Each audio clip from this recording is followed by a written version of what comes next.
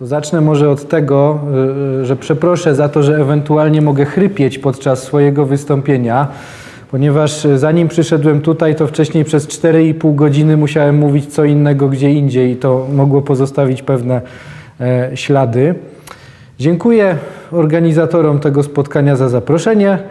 Dziękuję za to, że będę mógł opowiedzieć o kilku aspektach funkcjonowania Instytutu Pamięci Narodowej, który jest instytucją państwową, finansowaną z pieniędzy publicznych i mającą, jak sądzę, pewien realny wpływ na świadomość zbiorową Polaków, w tym młodszego pokolenia, a na pewno mającą bardzo duży wpływ na świadomość e, tej części naszego społeczeństwa, która wyznaje prawicowe poglądy, bo to było widać od samego początku, że prawicowcy w Polsce są zafascynowani Instytutem Pamięci Narodowej oraz e, tym, co piszą autorzy z nim związani. Zacznę od tego, że w mojej ocenie, w swoim obecnym kształcie czy w swojej obecnej formule działania Instytut Pamięci Narodowej wbrew swojej własnej nazwie nie spełnia roli instytucji pamięci narodowej. Dlaczego? Wydaje mi się, że instytucja pamięci narodowej powinna kształtować taki model tej pamięci, który byłby korzystny dla narodu, który e, byłby dla niego pożyteczny.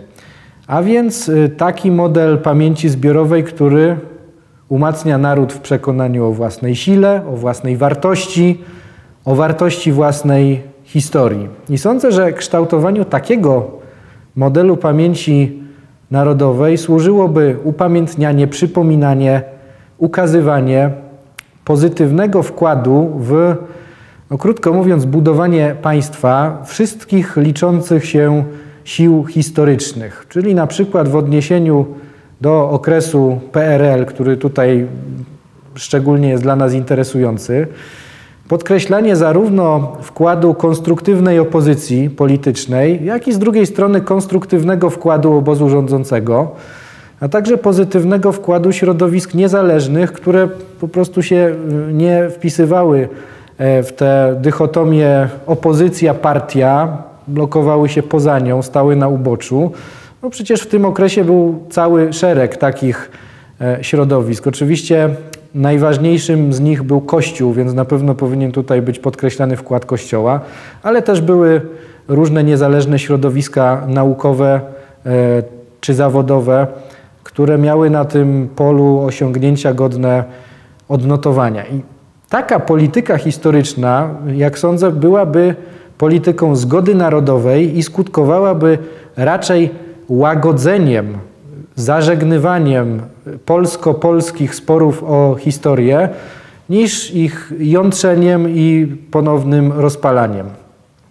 Myślę, że taka polityka historyczna jest możliwa nawet w odniesieniu do takich wydarzeń historycznych, które budzą duże e, emocje i kontrowersje. No pomyślmy na przykład o okrągłym stole. Jeżeli chodzi o percepcję okrągłego stołu, no to ograniczając się tylko, e, tylko do takich najbardziej e, zauważalnych spojrzeń, mamy ocenę głównego nurtu, która jest taka, że Okrągły stół to był triumf dzielnej opozycji demokratycznej w Polsce, która zmusiła komunistów do ustępstw i wytarkowała od nich wolność dla Polski. I mamy konkurencyjną e, narrację, która mówi, że okrągły stół to była zmowa zdrajców z obu stron przeciwko Polsce. No a tymczasem, kiedy miały miejsce rozmowy przy okrągłym stole, to ich elementem były również negocjacje na temat e, przemian gospodarczych, reform gospodarczych, które miały w Polsce nastąpić i które stworzyły później tak zwaną trzecią Rzeczpospolitą.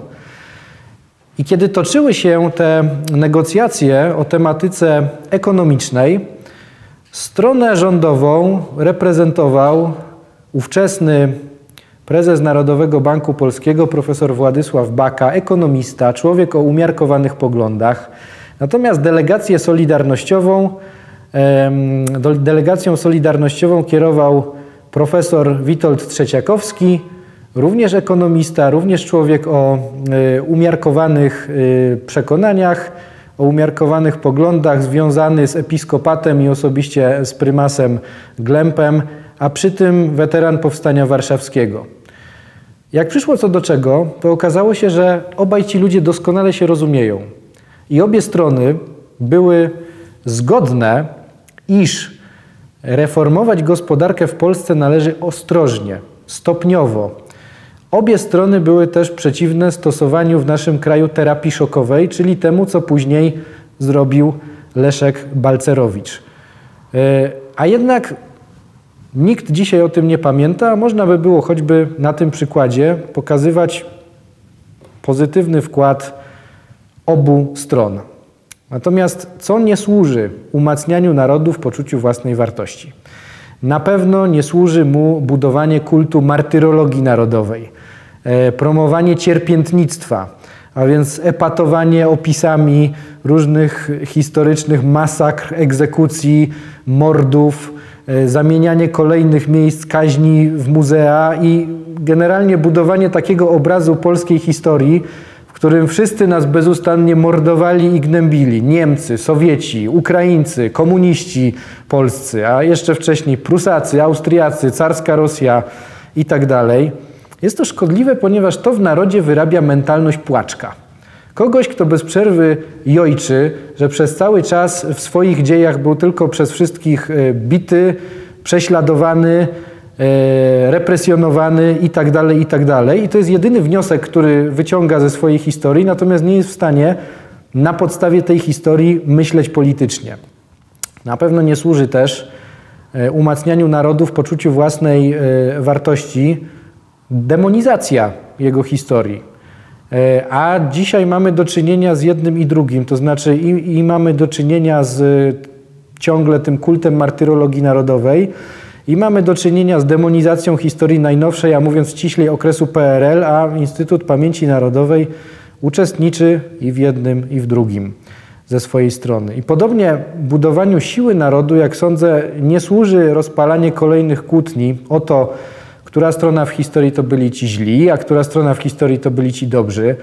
E, nie służą mu próby narzucania takiego modelu pamięci o naszej historii, który nie wzmacnia więzi narodowej, bo zamiast łączyć i jednoczyć, raczej wyklucza i dzieli. I nie służy mu też rzucanie oskarżeń pod adresem całych grup społecznych czy całych tradycji politycznych, a z takimi zjawiskami też mamy do czynienia. Kiedy tworzono Instytut Pamięci Narodowej, chciano przydzielić mu wszystkie możliwe funkcje naraz. I rzeczywiście Przydzielono mu i funkcję naukowo-badawczą, i funkcję śledczą oraz prokuratorską, i funkcję edukacyjną, można by też było powiedzieć popularyzatorską. I Instytut Pamięci Narodowej musi prowadzić politykę historyczną i musi zajmować się lustracją. To są zupełnie różne funkcje, które wymagają zupełnie e, odrębnych działań, natomiast e, wygląda na to, że pracownikom Instytutu Pamięci Narodowej to wszystko się ze sobą pomieszało, często się w praktyce miesza. Po czym możemy to poznać? Otóż e, w okresie tak zwanej III Rzeczypospolitej powróciła pokusa, e, która już kiedyś zatruła życie polityczne II Rzeczypospolitej, mianowicie pokusa ostrego i ostatecznego rozstrzygania o tym, kto w historii miał rację, a kto jej nie miał i kto był dobrą stroną, a kto złą stroną. Bo to się zaczęło zaraz po odzyskaniu niepodległości Polski w 1918 roku. Polska odzyskała niepodległość wskutek I wojny światowej, podczas której nasze elity polityczne podzieliły się mniej więcej na dwa obozy, na obóz aktywistyczny związany z państwami centralnymi i obóz pasywistyczny związany z państwami ententy. Wojnę wygrały państwa ententy i kiedy to nastąpiło, w Polsce endecy, którzy byli dominującą częścią obozu aktywistycznego, chcieli narzucić jako obowiązujący pogląd, że w wojnie po słusznej stronie stali tylko i wyłącznie pasywiści. Natomiast aktywiści stali po stronie zła, byli zdrajcami sprawy polskiej, szkodnikami sprawy polskiej i należy ich za to ex post poddać ostracyzmowi. Nie minęło kilka lat i druga strona odwdzięczyła im się za to pięknym za nadobne. E, w 1926 roku e, władzę wzięli Piłsudczycy i już jej nie oddali, a Piłsudczycy podczas I wojny światowej byli częścią obozu aktywistycznego. I teraz to oni zaczęli narzucać pogląd, e, zgodnie z którym po właściwej stronie podczas wojny stali tylko i wyłącznie ci, którzy walczyli o niepodległość z bronią w ręku, czyli oni sami. A wszyscy pozostali, którzy nie walczyli, którzy stali z boku, czy uprawiali e, jakąś politykę, czy próbowali wyszachrować Polskę na zielonym stoliku, jak powiedział przywódca tego obozu politycznego, byli zdrajcami, szkodnikami sprawy polskiej i należy ich za to ex post potępić. I potem ta historia powtórzyła się po raz kolejny po 1945 roku, kiedy tym razem za rozliczenia historyczne z zakresu historii najnowszej wówczas zabrali się komuniści w znacznie bardziej brutalny sposób niż e, to miało miejsce podczas e, okresu, w okresie międzywojennym zabrali się za rozstrzyganie, które ugrupowania polityczne i zbrojne podczas II wojny światowej tym razem miały rację, a które były po złej stronie. E, aczkolwiek to uległo zmianie po 1956 roku, kiedy to nowe władze Polski też chciały wzmocnić e, swoją legitymizację polityczną i w związku z tym dokonały jednak przesunięć w polityce historycznej, e, ponieważ wtedy uznano jednak Armię Krajową i Polskie Państwo Podziemne za do pewnego stopnia równoprawnie zasłużony e, obóz w walce z okupantem. Weterani AK zostali przyjęci do, do Zbowidu i no, zapewniono im ograniczoną, ale jednak jakąś tam obecność w przestrzeni publicznej. Dlaczego o tym przypominam? Otóż, kiedy dzisiaj popatrzymy na to, jak jest traktowany Instytut y, Pamięci Narodowej, no to łatwo zauważyć, że widzi się w nim instancję, która jest uprawniona do tego, żeby autorytatywnie rozstrzygać, kto w historii miał rację. Przykład mieliśmy bardzo, y, bardzo niedawno temu, E, mianowicie wówczas, kiedy przedstawiciele państwa rosyjskiego zaczęli wygłaszać, wysoko postawieni, zaczęli wygłaszać wypowiedzi obraźliwe dla polskiej pamięci historycznej. No i kogo w Polsce wezwano na pomoc, żeby dał odpór temu atakowi? Oczywiście Instytut Pamięci Narodowej, który zaraz e, przygotował i, i, ogłosił odpowiednie oświadczenie dowodzące, że Rosjanie nie mają racji i e, kłamią.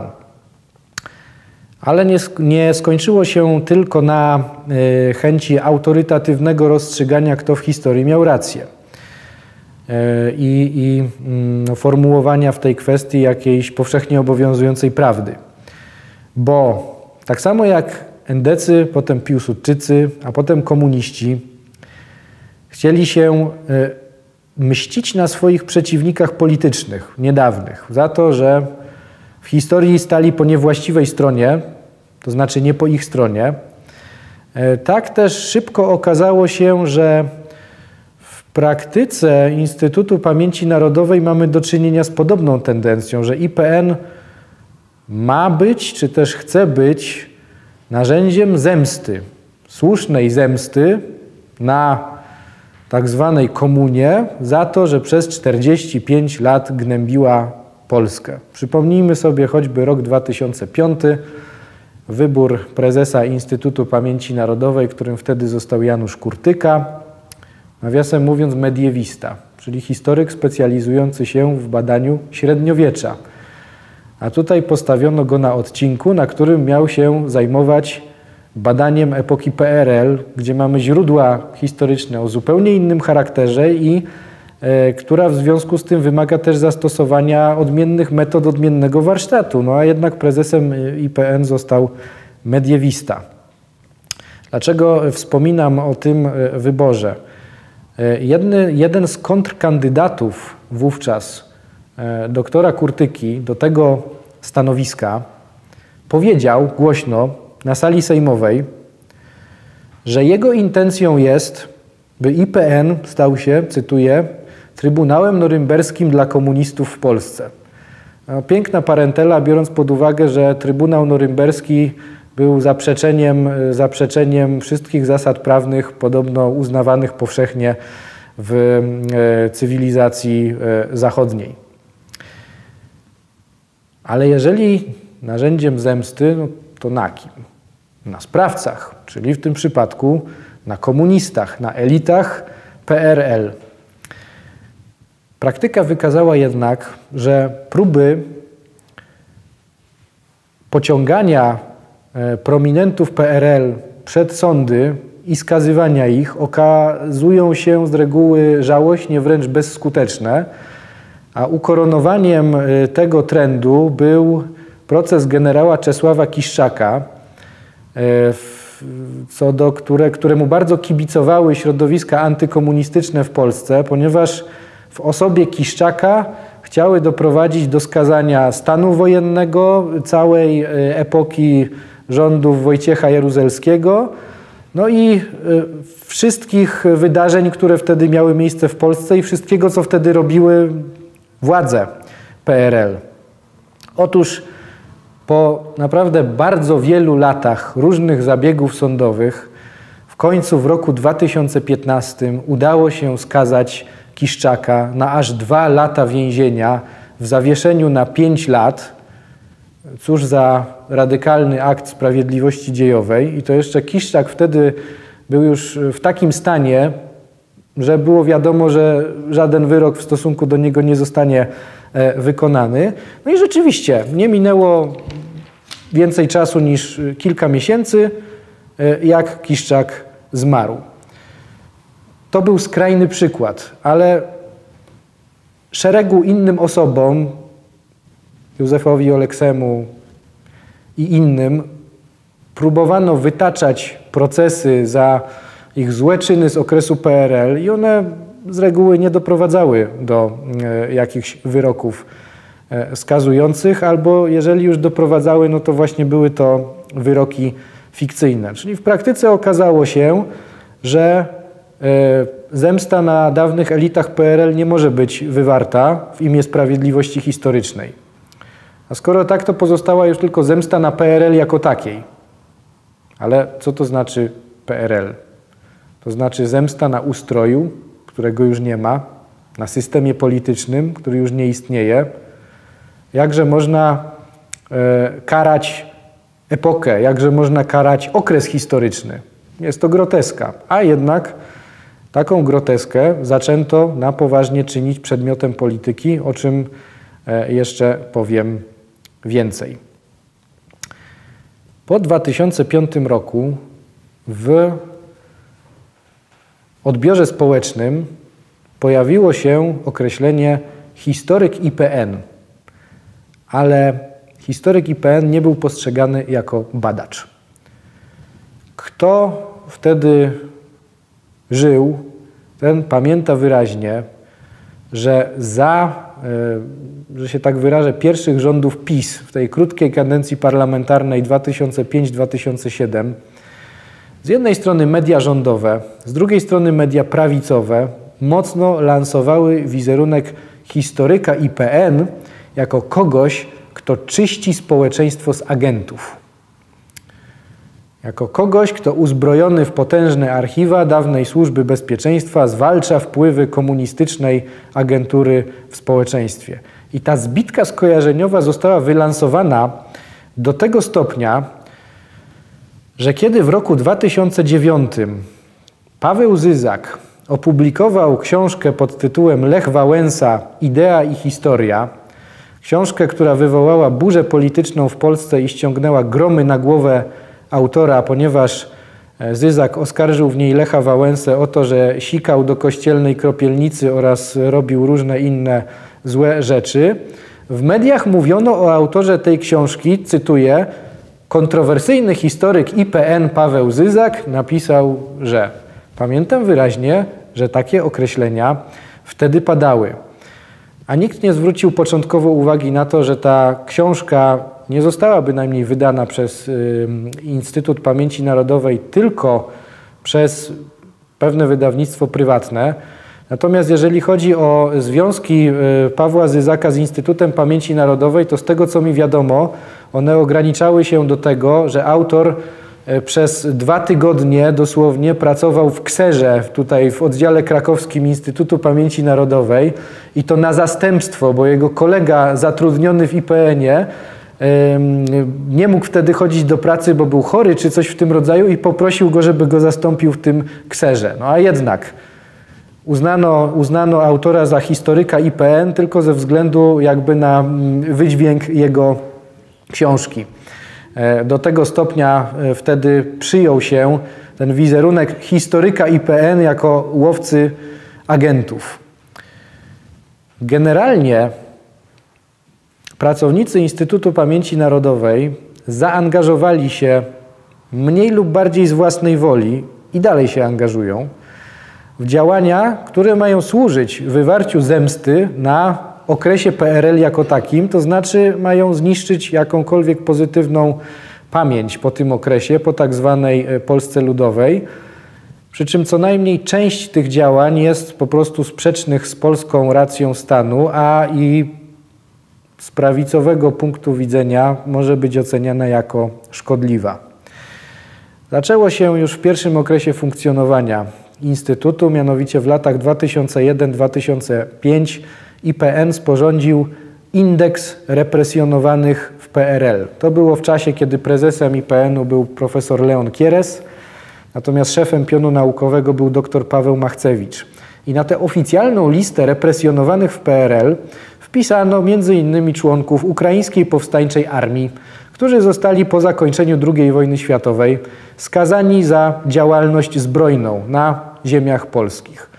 E, I tak oto represjonowanym w PRL stał się m.in. Wołodymyr Szczygielski, pseudonim Burłak, dowódca sotni UPA Burłaki, e, która przypuściła ataki na ponad 20 polskich miejscowości i miała również na koncie zabójstwa na ludności cywilnej. Zwłaszcza o jednym z tych wydarzeń tutaj e, opowiem, bo one, jak e, zaraz e, Państwo usłyszą, miało, ono, ono miało swoje dalsze echa.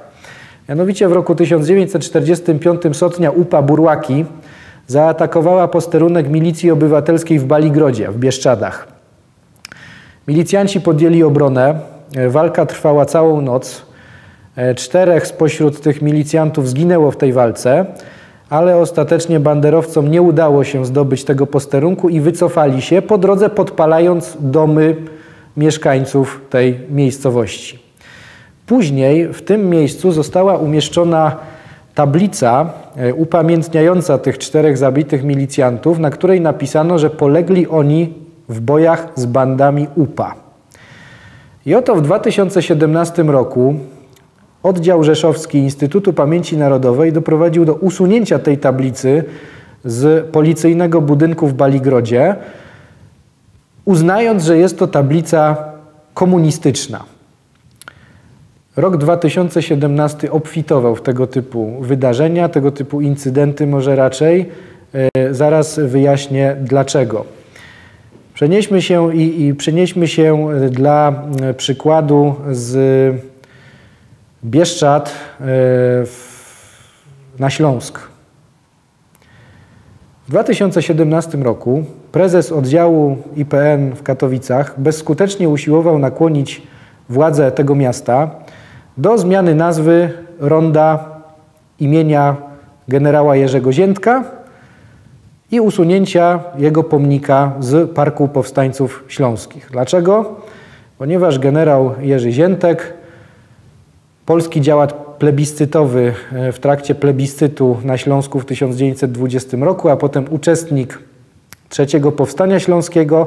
Po II wojnie światowej był członkiem PZPR oraz PRL-owskim wojewodą. Dlatego Instytut Pamięci Narodowej czy, czy jego lokalna agenda e, wysunęła pogląd, że wszystkie jego upamiętnienia są upamiętnieniami komunistycznymi. No i tutaj e, śląscy IPN-owcy dokonali pięknego samozaorania, ponieważ za upamiętnienie komunistyczne uznali pomnik generała Ziętka postawiony w 2005 roku. E, pozostając w Katowicach, w tym samym roku 2017 miejscowy oddział Instytutu Pamięci Narodowej doprowadził do tego, że zmieniono nazwę placu imienia przedwojennego działacza ONR Wilhelma Szewczyka. Dlatego, że po wojnie on też był członkiem PZPR i był członkiem i był, przepraszam, posłem na Sejm PRL. Symptomatyczny jest fakt, że nowa nazwa tego placu, która została wówczas nadana, to plac imienia Lecha i Marii Kaczyńskich. Niewiele później, w roku 2018, na początku 2018 roku, y, oddział Instytutu Pamięci Narodowej w Kielcach zaczął nalegać na usunięcie tablic z pomnika tzw. Tak Republiki Pinczowskiej w Byczowie. Y, Republika Partyzancka, jak się ją nazywa w Pinczowie, funkcjonowała w 1944 roku latem dzięki wspólnemu wysiłkowi zbrojnemu żołnierzy Armii Krajowej, żołnierzy Armii Ludowej i żołnierzy batalionów chłopskich. Natomiast y, na tablicach na tym pomniku zostali wymienieni obok żołnierzy Armii Krajowej, również dowódcy Armii Ludowej i batalionów chłopskich, którzy po II wojnie światowej e, byli w aparacie państwowym PRL i dlatego Kielecki Instytut Pamięci Narodowej uznał, że te tablice należy ocenzurować.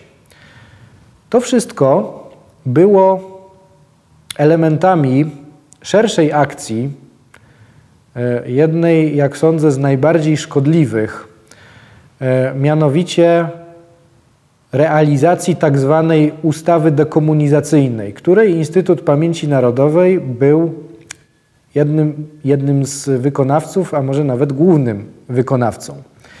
Ustawa ta została przyjęta w roku 2017 i tutaj ktoś mógłby oczywiście zauważyć, że to nie Instytut Pamięci Narodowej stworzył tę ustawę, to nie pracownicy Instytutu Pamięci Narodowej napisali projekt tej ustawy, a potem głosowali za jej przyjęciem w Sejmie, tylko polityczna y, odpowiedzialność za jej zaistnienie y, spada na, czy, czy ciąży, spoczywa na ówczesnych władzach i na obozie politycznym Prawa i Sprawiedliwości, a Instytut Pamięci Narodowej nie miał tutaj wiele do gadania, ponieważ ustawodawca zobowiązał go w zapisach tej ustawy do podjęcia określonych działań.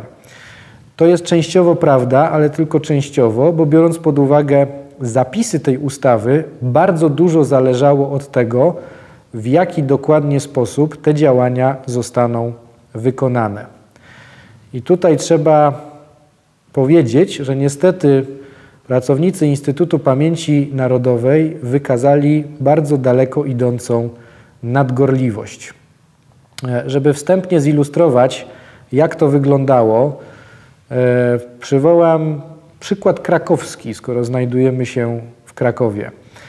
Mianowicie na mocy tej ustawy terenowe agendy Instytutu Pamięci Narodowej zostały zobowiązane do tego, żeby dla każdej miejscowości opracować czarną listę ulic, których nazwy powinny zostać zmienione, ponieważ są to nazwy symbolizujące ustrój komunistyczny. Jeżeli chodzi o Kraków, y, to oddział krakowski IPN-u wytypował dziewięć nazw ulic, nazwy dziewięciu y, ulic w tym mieście. Sześć z nich nie wzbudziło żadnych kontrowersji i władze Krakowa istotnie y, zmieniły ich patronów na, na innych, na bardziej godziwych.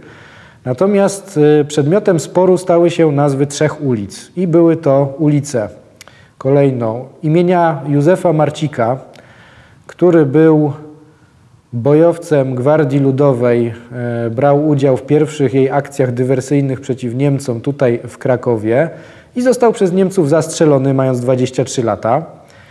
E, po drugie ulica imienia profesora Keistuta Żemajtisa, który był niemal przez całe lata 50. w Polsce ministrem odpowiedzialnym za przemysł, a zatem osobą, która miała wkład w industrializację naszego kraju, a kiedy przestał być ministrem, to potem był między innymi rektorem Akademii Górniczo-Hutniczej. No i wreszcie trzecią ulicą była ulica imienia mojego imiennika, Wincentego Danka, historyka literatury, E, który był współtwórcą Wyższej Szkoły Pedagogicznej, to znaczy uczelni, która obecnie nosi nazwę Uniwersytetu Pedagogicznego w Krakowie oraz, jego długo, oraz jej, przepraszam, długoletnim rektorem. W przypadku tych trzech ulic władze miasta odmówiły zmiany ich nazwy, argumentując, że rola tych postaci w polskiej historii nie daje się zredukować do samego tylko e, komunizmu, a jeżeli chodzi o te dwie ostatnie postacie, czyli Żemajtisa i Danka, to w obronie ich pamięci wystąpiły też wtedy uczelnie, z którymi byli związani, AGH i e, UP. Ale kiedy władze miasta odmówiły zmiany nazw, wojewoda pisowski i tak dokonał e, zmiany w drodze tak zwanego zarządzenia zastępczego, na co władze miasta zareagowały, kierując sprawę na drogę sądową. E, decyzja wojewody o zmianie nazw ulic została zaskarżona do Wojewódzkiego Sądu Administracyjnego, który w marcu 2018 roku orzekł, że zasadna była dekomunizacja tylko dawnej ulicy Marcika, która teraz nosi inną nazwę, natomiast y, podważył zasadność dekomunizacji ulic Rzemajtisa i Danka, E, i dlatego e, one pozostały e, przy swoich nazwach, no więc mogę mieć satysfakcję, chociaż nie był to mój krewny w żadnym stopniu, że jest ulica Danka w Krakowie. Generalnie podejście, jakie wykazali pracownicy Instytutu Pamięci Narodowej do tego obowiązku dekomunizacji przestrzeni publicznej, a zwłaszcza ulic, E, w Polsce, który na nich e, nałączono, e, nałożono, było takie, że hurtem wszystko zaczęto uznawać za symbole komunizmu. Hurtem wszystkie nazwy, które pochodziły z tamtej epoki. I tak Instytut Pamięci Narodowej żądał we wszystkich miejscach, gdzie je znalazł, tego, żeby usuwano nazwy całych formacji zbrojnych polskich, na przykład pierwszej Armii Wojska Polskiego i drugiej Armii Wojska Polskiego z okresu E, II wojny światowej.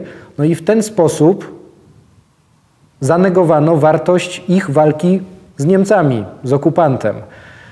W mojej ocenie to było po prostu działanie o charakterze antypaństwowym, ale nie jest to tylko i wyłącznie moja ocena, bo dokładnie przeciwko temu protestował też innymi ksiądz Tadeusz Isakowicz-Zaleski, którego chyba trudno uznać za komucha i za kogoś, kto powiedzmy broni ubeków.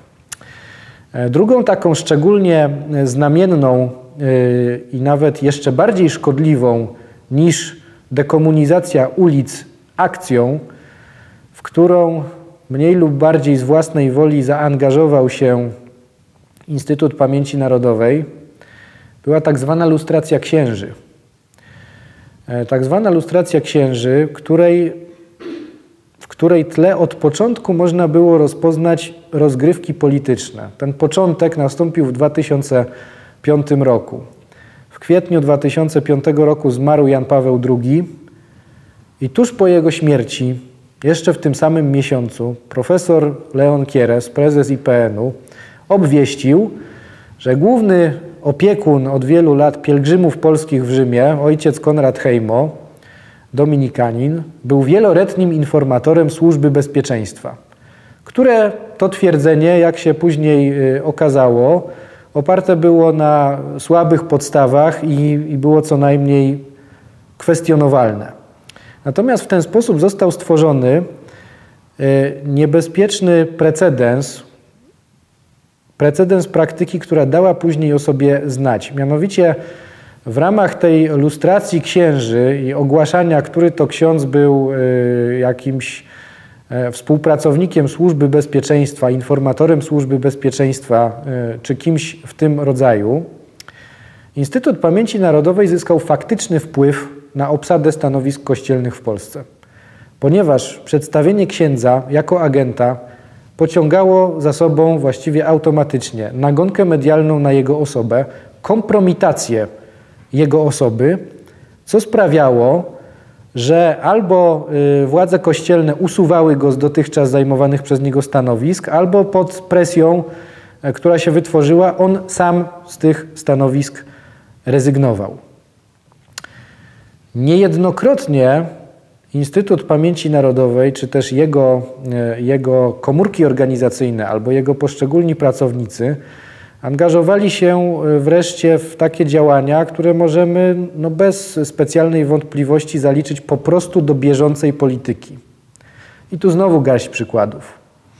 W kwietniu 2014 roku oddział Instytutu Pamięci Narodowej w Katowicach wspólnie z Ukraińskim Stowarzyszeniem Pokolenie działającym w Polsce oraz ze Związkiem Zawodowym Solidarność zorganizował wystawę gloryfikującą wydarzenia w Kijowie znane jako Euromajdan. To była wystawa fotograficzna, a na fotografiach tam eksponowanych można było obejrzeć między innymi powiewające charakterystyczne czarno-czerwone flagi UPA czy trzymany przez demonstrantów portret Jewchena Konowalca.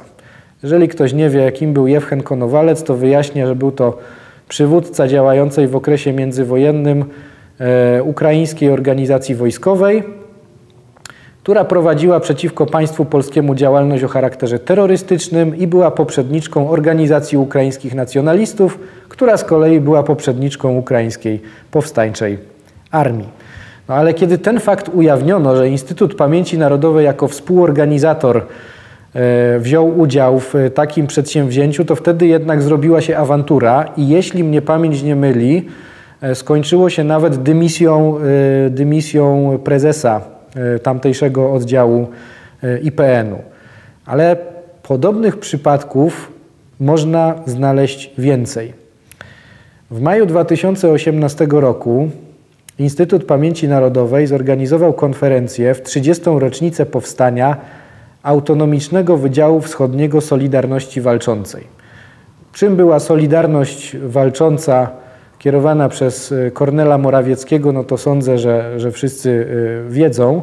Natomiast Autonomiczny Wydział Wschodni to była jej komórka y, organizacyjna, która miała rozwijać współpracę z opozycją antyrządową, z opozycją demokratyczną działającą w Związku Sowieckim. To miała być taka współpraca transgraniczna. Przez przypadek tak się złożyło, że ja byłem na tej konferencji.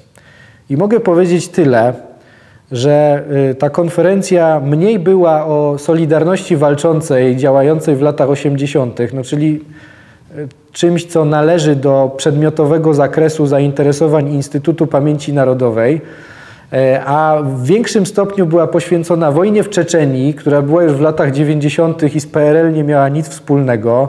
Była poświęcona temu, że, e, że Putin jest zły, że aneksja e, Krymu była wydarzeniem skandalicznym i tak dalej, i tak dalej.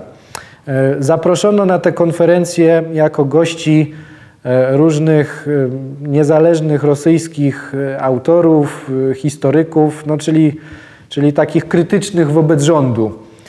Zaproszono też między innymi wdowę po Dżocharze Dudajewie, czyli prezydencie Czeczenii w okresie walki Czeczenii o, o, niepodległość od Rosji. No tylko co to miało wspólnego z Solidarnością walczącą? Zdarzały się też przypadki, w ogóle w polskiej polityce zdarzają się e, przypadki na bieżące potrzeby gloryfikacji różnych przejawów e, kolaboracji ze Stanami Zjednoczonymi, również, również w formie po prostu zdrady narodowej. No i niestety pracownicy Instytutu Pamięci Narodowej też mieli tutaj swój udział. E, na pewno wszyscy kojarzymy osobę profesora Jana Żaryna, który był znanym pracownikiem Instytutu Pamięci Narodowej w latach 2006-2010. W roku 2011 e, ukazała się e, jego książka, książka wydana nakładem wydawnictwa Instytutu Pamięci Narodowej, w której autor napisał, cytuję, Brygada Świętokrzyska Narodowych Sił Zbrojnych była pierwszą przed przyjęciem Polski do NATO polską formacją współdziałającą z amerykańskim wywiadem wojskowym. No oczywiście napisał to e, afirmatywnie. Natomiast najbardziej znanym przykładem jest tutaj oczywiście kult Ryszarda Kuklińskiego.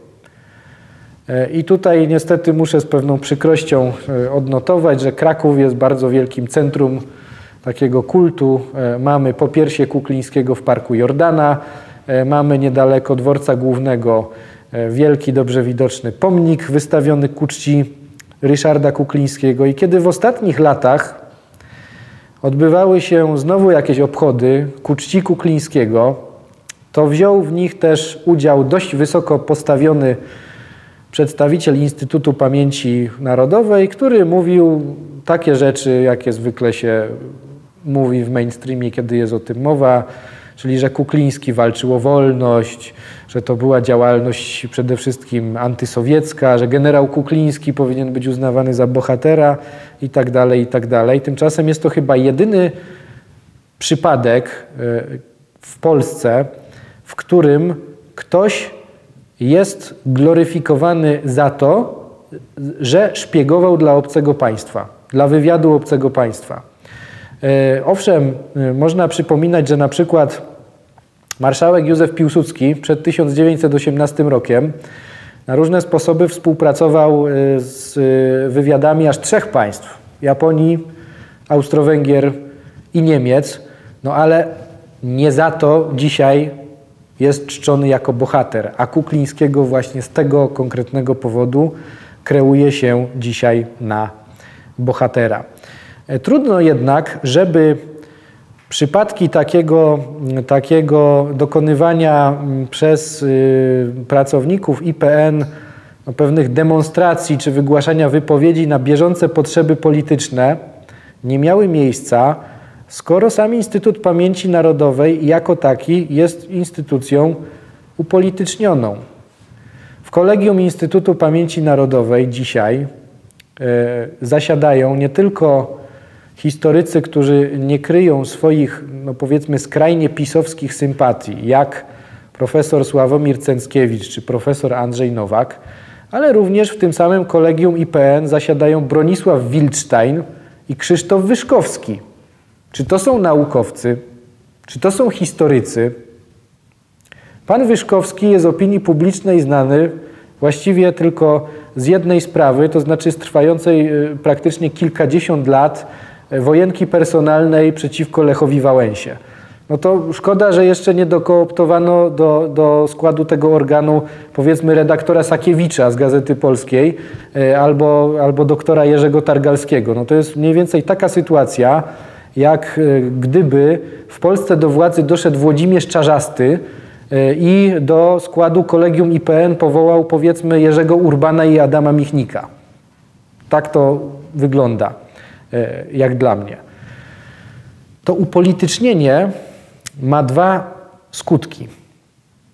Pierwszym z tych skutków jest fakt, iż IPN-owi zdarza się po prostu kolportować czy produkować pewne historyczne bzdury. Nie uległem omamom z pewnością, e, kiedy widziałem, że na stronach internetowych, jakoś związanych z Instytutem Pamięci Narodowej, czy e, w jego materiałach takich o charakterze popularyzatorskim, przeznaczonych dla zwykłego e, czytelnika, przewija się określenie Powstanie antykomunistyczne 1944-1963. Niesamowite odkrycie. E, oto odkryliśmy w historii Polski kolejne powstanie narodowe, najdłuższe ze wszystkich, jakie były, bo trwające prawie 20 lat.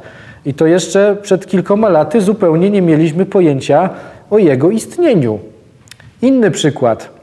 E, w marcu 2019 roku Instytut Pamięci Narodowej e, wydał komunikat poświęcony osobie Romualda Rajsa, pseudonim Bury, a dokładnie E, zbrodniom na białoruskiej ludności cywilnej, których dopuścił się jego oddział tuż po II wojnie światowej. Celem tego komunikatu było udowodnienie, że nie można Buremu zarzucać aktów ludobójstwa. No ale proszę sobie przeczytać, proszę sobie przeczytać to oświadczenie i sprawdzić, na jakiej argumentacji ono jest oparte. Ono jest oparte na argumentacji zmierzającej ku temu, że z formalno-prawnego punktu widzenia y, to, co zrobili żołnierze oddziału Burego, nie wyczerpuje prawniczej definicji ludobójstwa. Natomiast zupełnie jakby nie podważono tego, że same zbrodnie na ludności cywilnej miały miejsce. I co? Tylko dlatego, że no niechby nawet udowodniliśmy, że te wydarzenia nie wpisują się w pewną regułkę, to możemy y, automatycznie y, uznać za bohatera bez skazy kogoś, kto za to odpowiadał. A więc y, pierwsza, pierwszy skutek upolitycznienia IPN, jak sądzę, no to jest właśnie to, że zdarzają się takie na potrzeby polityczne kolportowane historyczne bzdury. Natomiast drugim skutkiem jest postępujące ograniczanie pluralizmu wewnątrz samego Instytutu Pamięci Narodowej. Bo jeszcze jakiś czas wstecz można tam było e, znaleźć historyków reprezentujących różne poglądy na historię, w tym na historię najnowszą. Członkiem kolegium IPN był na przykład profesor Andrzej Chojnowski, historyk mocno krytyczny wobec marszałka Józefa Piłsudskiego i rządów sanacji. Ciekaw jestem, czy teraz pod rządami e, PiS jest jeszcze w IPN-ie jakiś historyk, który byłby e, krytyczny wobec e, właśnie tego obozu politycznego i wobec e, tej postaci. Z drugiej strony mieliśmy też takich autorów w IPN-ie, których dowcipnie nazywano lewicą IPN-owską. Tutaj najbardziej znanym reprezentantem tego kierunku był profesor Andrzej Friszke, który też był członkiem kolegium Instytutu Pamięci Narodowej czyli historyków zajmujących się też okresem PRL, działalnością opozycji demokratycznej w PRL.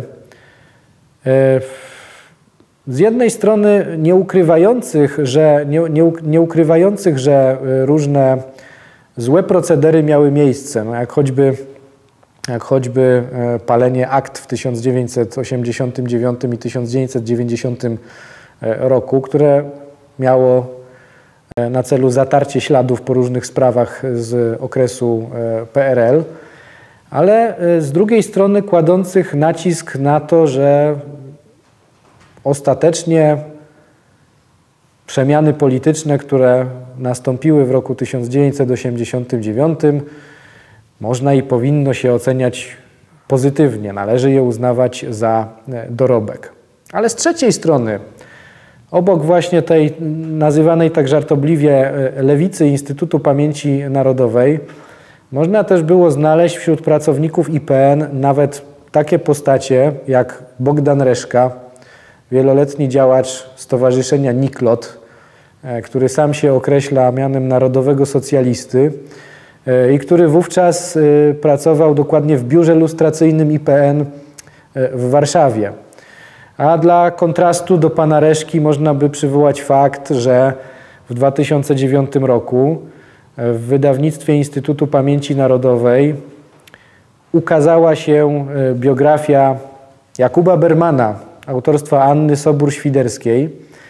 E, biografia będąca nie do końca udaną, ale jednak próbą E, dotarcia do prawdziwych, powiedzmy, ukazania, ukazania jej autora jako no, prawdziwego człowieka, a nie tej, a nie tej postaci z czarnego mitu, podtrzymywanego zwłaszcza właśnie w środowiskach prawicowych, e, który, który twierdzi, że w okresie stalinowskim to Berman rządził Polską że to Berman był namiestnikiem Stalina na Polskę, że Berman kierował wszystkimi prześladowaniami, jakie wtedy miały miejsce e, w Polsce i tak dalej, i tak dalej. Autorka, e, autorka e, starała się no, nie zatrzymywać się przed tą zasłoną, tylko podejść do tej postaci z czymś w rodzaju chęci zrozumienia.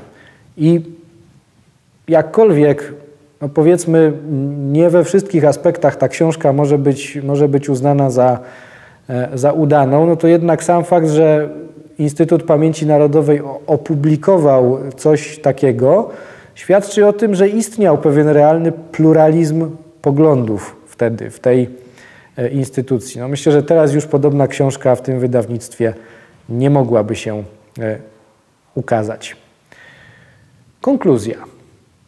Instytut Pamięci Narodowej jest instytucją upolitycznioną w sposób trwały, bo takie też są prawne uwarunkowania jego e, funkcjonowania. I fakt ten nie wywiera pozytywnego wpływu na jego działalność.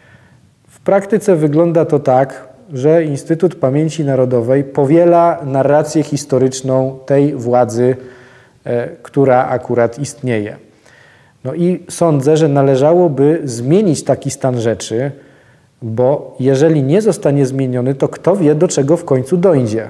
Jeżeli w, w Polsce do władzy e, dojdzie w końcu Biedroń ze Śmiszkiem, to Instytut Pamięci Narodowej pod nowym kierownictwem, które zostanie wtedy powołane, dalej będzie głosił, że e, komuna była zła, tylko jako jej najgorszą cechę będzie wskazywał tak zwaną homofobię a jako największa zbrodnia komunistów będzie pokazywana zapewne akcja Hyacynt. Absurdalne? Absurdalne. Ale jak starałem się pokazać, e, poglądy absurdalne e, niestety już e, były i dalej bywają głoszone pod firmą Instytutu Pamięci Narodowej. Ale z drugiej strony trzeba mocno podkreślić, bo nie chciałbym też, żeby to moje wystąpienie miało nadmiernie jednostronny wydźwięk. Trzeba mocno podkreślić, że w Instytucie Pamięci Narodowej od początku jego istnienia po dziś dzień są prowadzone wartościowe badania historyczne, są prowadzone bardzo wartościowe prace edytorskie nad źródłami. W związku z czym e, myślę, że można sobie wyobrazić dwa rozwiązania. Pierwsze rozwiązanie polegałoby na tym, żeby Instytut Pamięci Narodowej dalej robił to, w czym jest dobry, a jest dobry w działalności naukowej. Wymagałoby to ograniczenia również prawnego Instytutu Pamięci Narodowej do roli swego rodzaju infrastruktury wspomagającej historyków w badaniach, do roli instytucji, która archiwizuje dokumenty, która udostępnia je badaczom i która wydaje monografie i opracowania naukowe. Natomiast wskazane byłoby tutaj całkowite wygaszenie działalności publicystycznej Instytutu Pamięci Narodowej, tak żeby nie był on już odpowiedzialny za uprawianie polityki historycznej e, i zakazanie raczej mu wydawania oświadczeń, bo te oświadczenia to jest w sporej części jeden z gorszych aspektów jego funkcjonowania. E, to jest jedno rozwiązanie, jakie sobie wyobrażam. Drugie jest trochę inne, potencjalnie bardziej ryzykowne, natomiast wydaje mi się, że jest e, realistyczne z punktu widzenia możliwości jego przeprowadzenia w praktyce, bo prawdopodobnie zostałoby poparte również przez e, lewicowe siły polityczne działające w Polsce, w tym na polskiej scenie parlamentarnej. Mianowicie Rozwiązanie to polegałoby na nowelizacji ustawy o Instytucie mm, Pamięci Narodowej, tak żeby w tekście ustawy został na niego nałożony obowiązek stosowania pluralizmu w ukazywaniu historii. Jak powiedziałem, środowiska lewicowe szermują bardzo mocno takimi hasłami, pojęciami jak pluralizm, jak różnorodność, jak wielobarwność, więc na pewno chętnie by to e, poparły.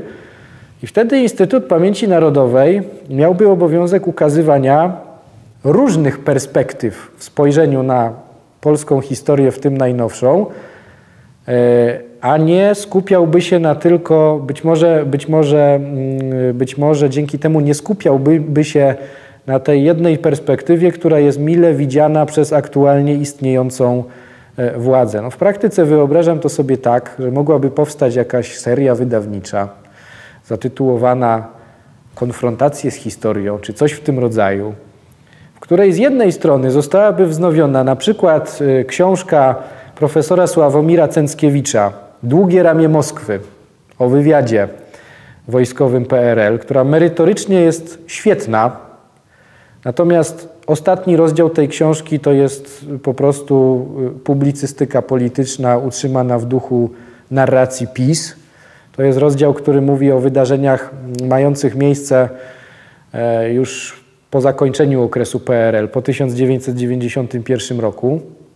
A z drugiej strony, e, w tej e, samej serii wydawniczej mogłaby zostać wznowiona praca profesora Ryszarda Nazarewicza z 1998 roku Armii Ludowej Dylematy i Dramaty. Nikomu pewnie tutaj nic nie mówi to nazwisko. Profesor Ryszard Nazarewicz to był no w zasadzie PRL-owski e, historyk, który był, e, można powiedzieć, oficjalnym kronikarzem Armii Ludowej, e, a w młodości był żołnierzem Armii Ludowej, a dokładnie oficerem jej wywiadu. A później jeszcze, już w, po II wojnie światowej, był no nie mniej, nie więcej, tylko oficerem nawet nie służby bezpieczeństwa, Urzędu Bezpieczeństwa. A potem został przesunięty na, na inny odcinek E, i, i stał się e, historykiem. E, dlaczego, czy, czemu, by to, czemu by to miało służyć? Mm, nie wierzę w to, żeby do prawdy historycznej można było dojść za pomocą, za pomocą jakichś środków ustawowych, czy w każdym razie instytucjonalnych. Dojście do prawdy historycznej możliwe jest tylko poprzez debatę debatę akademicką, debatę publiczną, a jedna i druga powinna się opierać o swobodę wypowiedzi i odbywać się w e, warunkach e, swobody wypowiedzi. No, prawica często narzeka na to, że o pewnych kwestiach historycznych nie można swobodnie mówić. Owszem, tylko dlaczego sama stoi na stanowisku, żeby o innych kwestiach historycznych też nie można było e, swobodnie mówić. No i z tym zapytaniem pozostawiam Państwa. Dziękuję za uwagę i, i proszę o ewentualne pytania, jeżeli to jest przewidziane w formule dzisiejszego spotkania.